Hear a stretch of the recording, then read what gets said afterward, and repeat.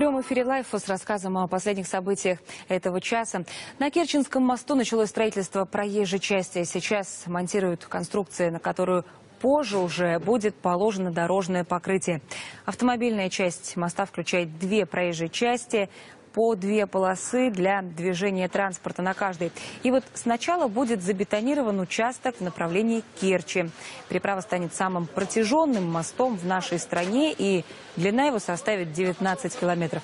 Строительство поможет Крыму полностью интегрировать в состав России.